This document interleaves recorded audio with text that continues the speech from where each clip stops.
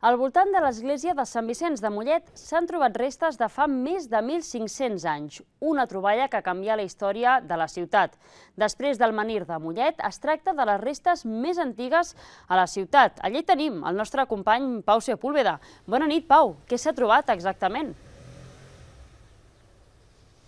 Bona nit, Alba. Doncs aquests treballs arqueològics han descobert elements de diferents èpoques, per exemple, unes sitges d'entre els segles 4 i 6 després de Crist o també esquelets i tombes de l'època romana. Així tot, els treballs ara mateix se centren en el carrer Pere Ramon, on hi podria haver uns antics forns de producció de ceràmica, metalls i estris culinaris.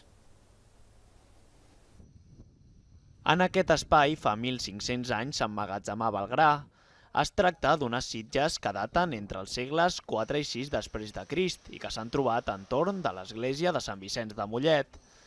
Durant els treballs arqueològics que s'estan duent a terme en aquesta zona, els professionals han descobert restes d'èpoques molt diverses, com la visigòtica o la baixa edat mitjana, a més, s'ha trobat també una gran necròpoli romana amb diferents tombes i esquelets. Les primeres tombes romanes que hem pogut excavar, molt arrasades per processos constructius posteriors, eh, no, no tenien el cos sencer, alguns sí que, que apareixia una part del cos, el cap, el braç el, o les cames. Estaven molt arrasats, però sí que hem trobat l'estructura funerària on anaven, on anaven enterrats, diguéssim, i són estructures funeràries d'època romana.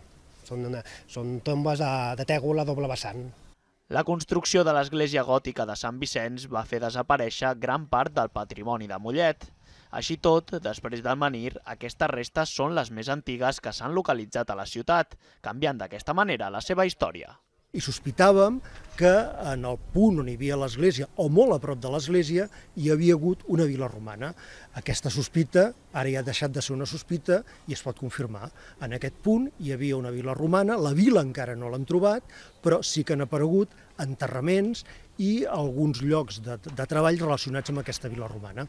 Una de les darreres troballes ha estat el que podria ser una zona relacionada amb forns de producció de ceràmica, metalls o estris culinaris, una hipòtesi sobre la qual treballen els professionals. Segons la llei, aquestes restes no tenen valor patrimonial i per aquest motiu s'hauran de documentar, conservar i finalment tapar com que és important per la ciutat a nivell històric, a nivell arqueològic, doncs eh, voldríem buscar una solució intermitja no? i per tant per això volem aquest, eh, intentar mostrar el màxim d'elements possibles que quedin a la vista perquè al final doncs, eh, per la ciutat de Mollet doncs, crec que és una troballa molt interessant i que per tant hem de potenciar.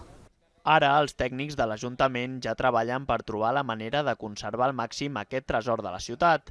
Els arqueòlegs, però, no descarten que surtin a la llum més restes històriques.